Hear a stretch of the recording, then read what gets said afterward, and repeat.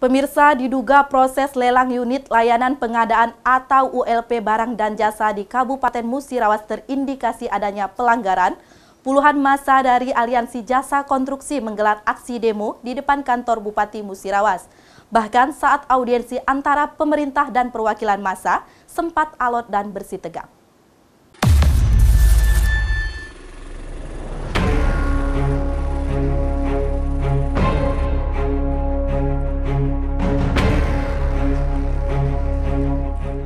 Puluhan warga yang mengatasnamakan Aliansi Jasa Konstruksi menggelar aksi demo di depan kantor Bupati Musirawas Rabu 9 Oktober 2019. Para pendemo ini meminta kejelasan tentang pelaksanaan tender pekerjaan yang dilaksanakan unit layanan pengadaan atau ULP barang dan jasa di Kabupaten Musirawas yang diduga kuat terindikasi adanya pelanggaran oleh pihak panitia lelang tender. Para pendemo ini menyampaikan tuntutan selama lebih kurang 30 menit sebelum akhirnya perwakilan masa diterima oleh Sekretaris Daerah Musirawas Prisko Desi untuk berdialog di ruang rapat Bina Praja pemerintah Kabupaten Musirawas.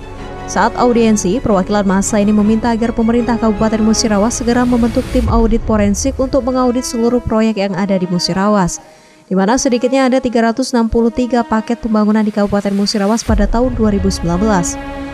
Sementara itu, Sekretaris Daerah Musirawas Prisko Desi mengatakan pihaknya akan segera memerintahkan APIP atau aparat pengawas intern pemerintah guna memeriksa unit pengadaan barang dan jasa terkait indikasi tersebut. Audiensi yang digelar selama lebih kurang satu jam ini sempat berlangsung alot dan terjadi bersih tegang antara pihak pemerintah dan perwakilan massa.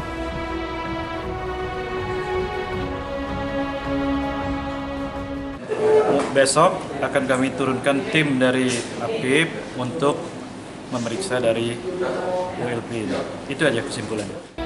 Novi Ardianto Silampari TV.